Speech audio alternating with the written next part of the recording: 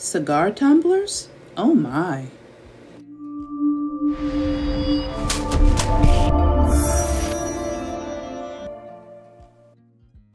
Welcome to Crystal's Creations. Let's make cigar tumblers. As you can see, I've already taped off using blue tape around the top of my tumbler. I use the standard Ozark brand from Walmart.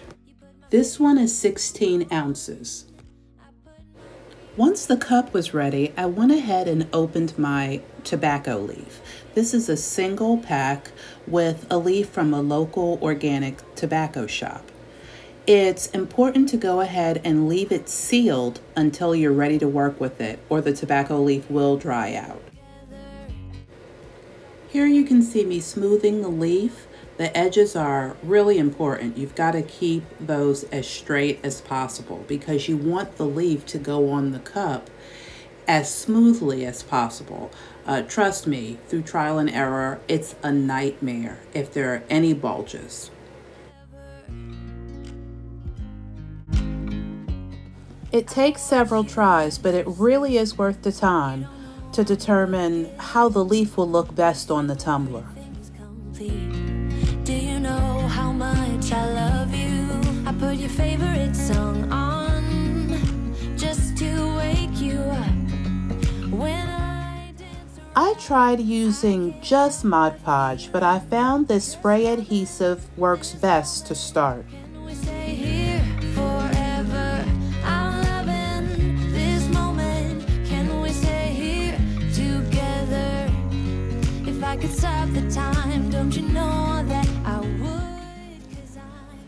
Here I've applied the spray adhesive and I'm actually placing the tobacco leaf on the tumbler.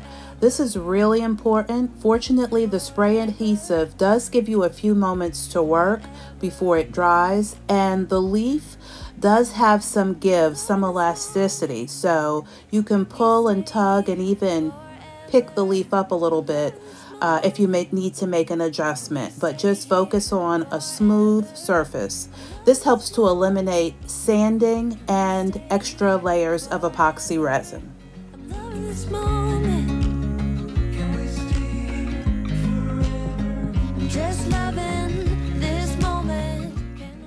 I'm still working on my technique to get the tobacco smoothly on the bottom of the tumbler.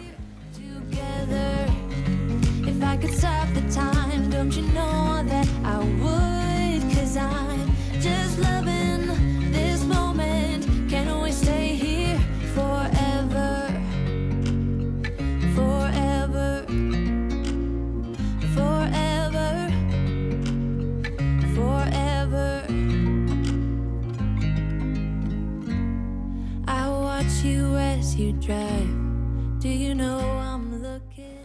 If you end up with overlapping leaves because you had to use more than one piece, just go ahead and pull off the excess. Try to pull out any of the larger veins and trim down as you go. I watch you as you drive. Do you know smile. Do you know how much I love you? You put my favorite song on. Okay, let's remove the tape. And we just sing along, and I can't help but feeling just loving.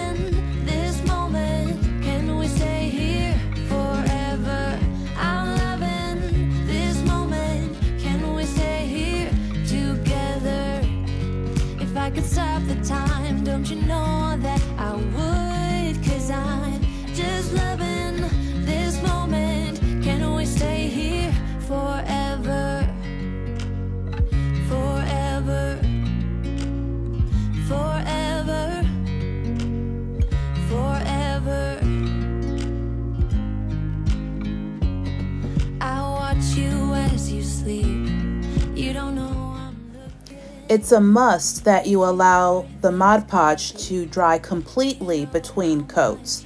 And don't worry about that top edge you see.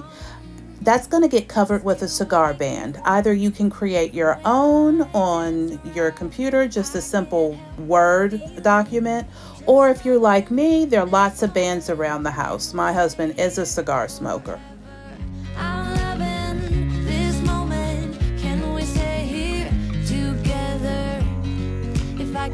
The time, don't you know that I would? Cause I'm just loving this moment. Can we stay here forever?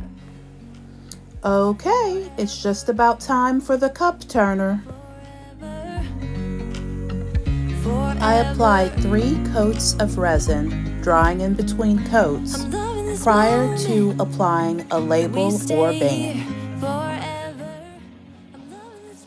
With drying time, it takes me about a week to make a cigar tumbler. And here we are, the finished tumbler. What do you think? Thank you for watching.